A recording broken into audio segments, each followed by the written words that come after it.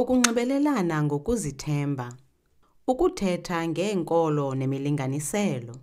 Iinkolelo nemilinganiselo yomntu zinegalelo kwindlela aziqonda ngayo izinto zempilo, indlela ayinakekela ngayo impilo yakhe kunye nendlela azenza ngayo izigqibo ezimalunga nempilo yakhe. Kodwa ke, yintoni kanye kanye iinkolelo nemilinganiselo? Ibe sinokuthetha njani ngazo neeklayenti zethu ukuze sikhuthaze ugonyo?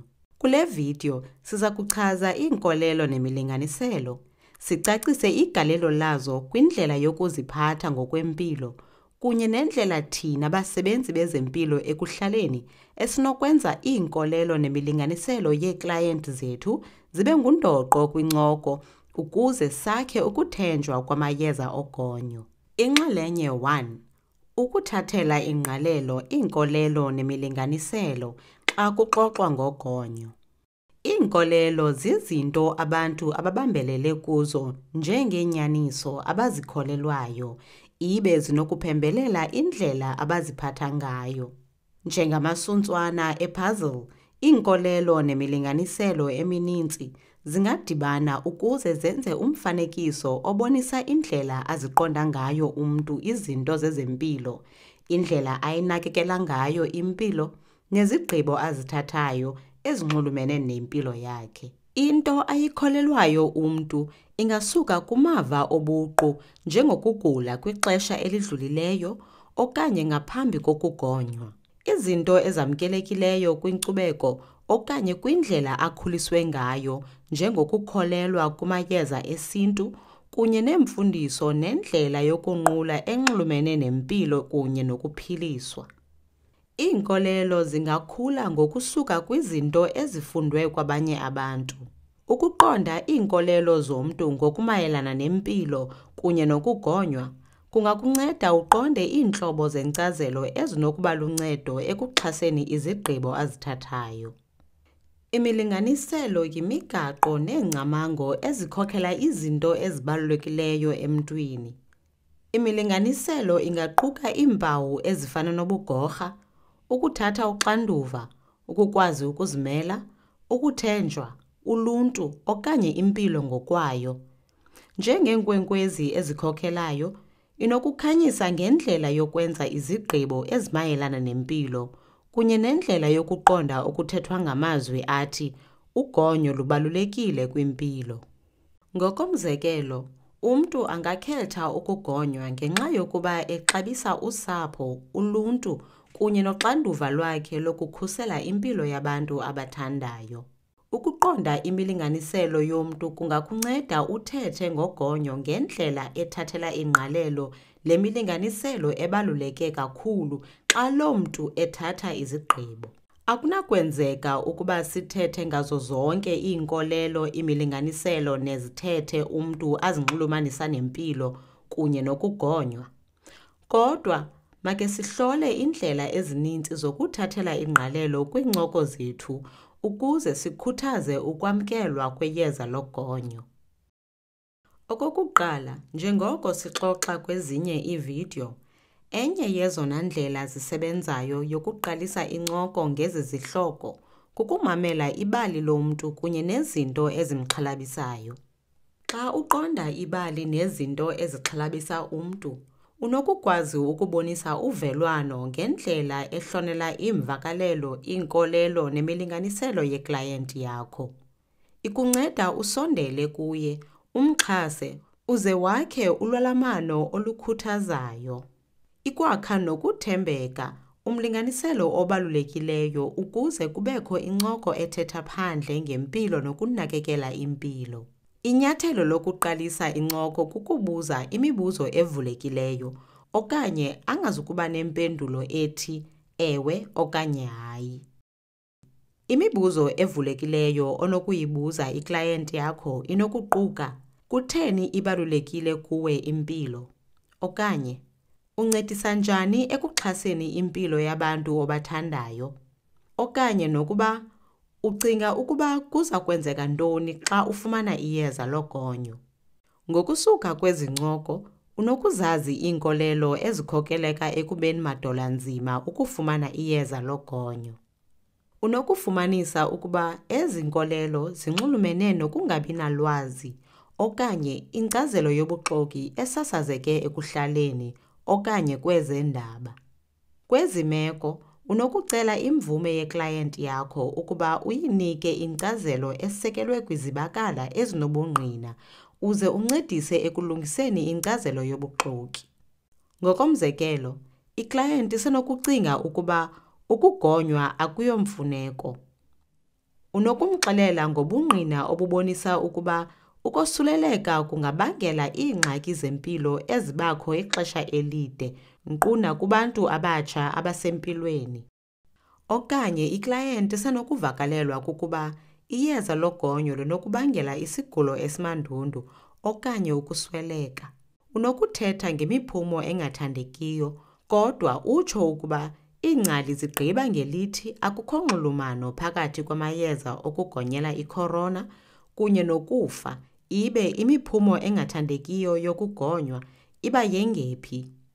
Kwezinye iividiyo, Unokufunda okungakumbi ngemiphumo engathandekiyo yeyeza logonyo, izinto ezikulo kunye nezicwangciso zokubona nokuthetha ngenkcazelo yobuxoki. Ezinye iinkolelo zinokunxulumana namava abuhlungu akhe enzeka malunga nempilo okanye unakekelo lwempilo. Ngokomzekelo, iklayenti isenokukhumbula isiva iintlungu okanye imiphumo engathandekiyo yeyeza logonyo ebelifumene. Unokutsho ukuba imiphumo engathandekiyo engephi, efana neentlungu kwindawo ekungene kuyo inaliti okanye ukudinwa nentloko ebuhlungu, iqhelekile kodwa idla ngokuphela emva kosuku ukuya kwiintsuku ezintathu. Imiphumo emandundu ayifane ibekho, ibakho kubantu abangaphantsi kwe-1 percent. Ukuba umntu ebekhe wane-aleji emandundu kwiyeza logonyo ebelifumene, umele umkhuthaze ukuba athethe nomboneleli wakhe wezempilo. Khumbuza iklayenti yakho ukuba ukufumana intsholongwane kuyingozi ngaphezu kokufumana iyeza logonyo, kungcono ukugonywa. Xa uncokola neklayenti yakho, unokuyazi imilinganiselo yakhe uze usebenzele ukuqonda naziphi na izizathu enazo zokuxhalaba. Kwiimeko ezininzi, imilinganiselo yabantu esisiseko njengokukhathalela abanye, impilo yabo neyosapho lwabo kunye nempilo yoluntu ayinxulumenanga nje nokugonywa kodwa iyaluxhasa. Oku kunganceda umatanise izinto eziphembelela iklayenti yakho kunye nokuthatha ugonyo. Umzekelo ongqalileyo wale nto kukuba iklayenti ikuxabisile ukunakekela usapho lwayo. Unokuyixelela ngeenzuzo zokugonywa ekuthinteleni ukugula okumandundu okanye ukufa komntu emthandayo. Ukuba iklayenti ixabise ubutyebi okanye ipropathi, usenokucebisa ukuba ukugonywa kuthintela ukugula okunokumenza angakwazi ukusebenza okanye akhubazeke kangangexesha elide, aze ancede uluntu lubuyele emsebenzini lukhuselekile. Ukongezelela ekuthetheni ngenkcazelo enezibakala, ukuxoxa ngemilinganiselo kunceda ekuxhaseni iklayenti ngokubonisa ukuba ugonyo yindlela yokufikelela iinjongo zayo. Imilinganiselo ifana nekhampasi esibonisa icala emasiye kulo, ibe ukugxininisa kuyo kungenza intliziyo yeklayenti ithambele ukwamkela ugonyo. Inxalenye 2. Ukuthetha ngezinto eziqhelekileyo nezithethe zesintu. Ngamanye amaxesha, abantu baza kuba neenkolelo eziqinileyo okanye imilinganiselo abangagungqiyo kuyo esekelwe kwizinto ezenziwa ngokuqhelekileyo. Imithetho engabhalwanga okanye izinto ezenziwa ngesiqhelo ezikhokela ukuziphatha ekuhlaleni kunqulo okanye kwiqela labantu bezithethe. Xa kunjalo, ukukhangela amava nokhokelo lwabantu abakuloo maqela kungaluncedo. Kwiindawo ezininzi okanye kumaqela abantu abaninzi kukho abantu abaye bagqiba ngokuthatha ugonyo ibe babone imiphumo emihle yokugonywa nokuba oku akuhambisani nezithethe okanye indlela eqhelekileyo yokwenza izinto. Aba bantu basenokuba neenkolo ezifanayo kunye nokufikelela kwinkcazelo yezempilo nezixhobo zezempilo ezifanayo nezo inokufikelela kuyo iklayenti yakho. Ukuxelela iklayenti yakho ngamabali abantu abaqhelileyo kunokwakha intembelo kwisigqibo sayo sokugonywa. Njengelungu loluntu ekuhlaleni, unokubalisa ibali lakho uze ube ngumzekelo kwii-client zakho.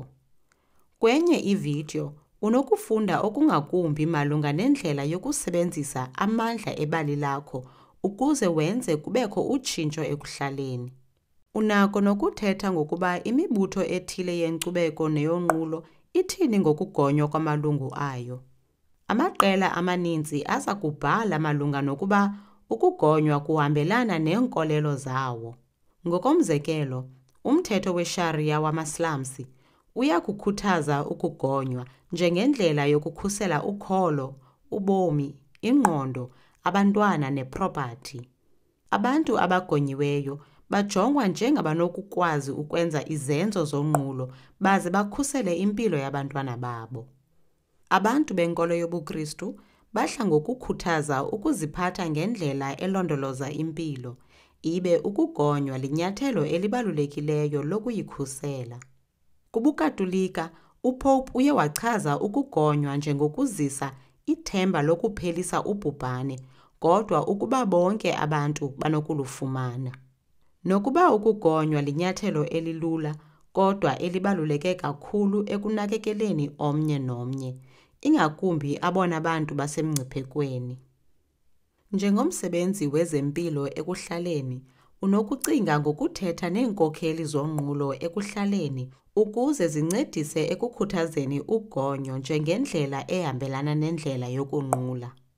Kwezinye iimeko, sinokuthetha ngobungqina obuxhasa ukugonya, ngoxa sikwaxhasa iinkolelo kwindlela yonyango eyahlukileyo okanye kwindlela yesintu yokuthintela ukugula.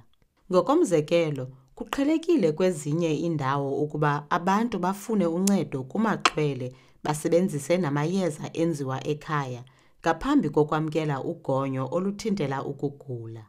Sekunjalo, ukuba madolo anzima ukwamkela ugonyo kusondele kakhulu ekungathembini amayeza asentshona kunokuba kucingwa amayeza esintu ngawo odwa anokukhusela impilo yabantu.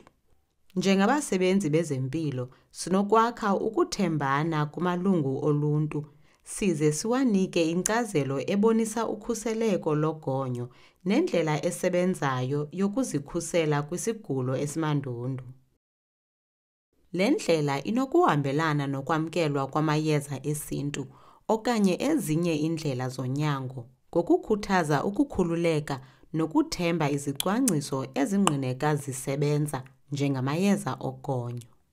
Okubaluleke kakhulu, kufuneka siqonde ukuba ngamanye amaxesha kufuneka sithethe kaninzi nomntu njengoko umntu esondela ekwenzeni isigqibo ngogonyo. Iinkolelo zomntu nezinto azaziyo uzifumana njengoko kuhamba ixesha. Ngokufanayo, indlela yokuthetha ngenkxalabo malunga nogonyo kungafuneka yakhiwe ngokuhamba kwexesha njengoko kuthenjwa ukuba baza kulwamkela njengoko efunda okungakumbi. Kwenye ividiyo, unokufunda malunga namanqanaba otshintsho ekufuneka umntu adlule kuwo xa kufuneka atshintshe indlela yokuziphatha emayelana nempilo. Ukuthetha ngokuphandle nangokunyaniseka njengoko abantu besenza izigqibo kuza kubonisa ukuba uzikhathalele kangakanani na iinkolelo zabo, imilinganiselo yabo kunye nempilontle yabo. Kusenokwenzeka abantu bavume ukuphinda bancokole baze bacetyiswe ukuba bavakalelwa ukuba bamanyelwe ibe bayaqondwa. Kubalulekile ukukhumbula ukuba abantu banelungelo lokwenza izigqibo ngemiba echaphazela impilo yabo. Oku kuquka inkcazelo echanekileyo malunga nesigulo nonyango lwaso, kodwa nokwamkela okanye ukwala ungenelelo olufana nogonyo lwe-COVID-19. Ngoko ke, yintoni onokuyenza? Njengomsebenzi wezempilo ekuhlaleni, unokukhuthaza ugonyo ngokufunda ngeenkolelo nemilinganiselo enokuphembelela isigqibo seklayenti yakho mayela nogonyo. Ukongezelela ekuthetheni ngenkcazelo echanekileyo nenokuthenjwa malunga nogonyo. Mamela amabali eklayenti yakho. Buza imibuzo evulekileyo enceda uqonde izizathu ezibangela inkxalabo ngeyeza logonyo. Xa ezi zizathu zimalunga neenkolelo, zama ukubona umthombo wezo nkolelo. Ukuba kufanelekile, thetha ngezinto ezingekhoyo kwinkcazelo, inkcazelo yobuxoki okanye ubuxoki obusenokubangela ezi nkolelo.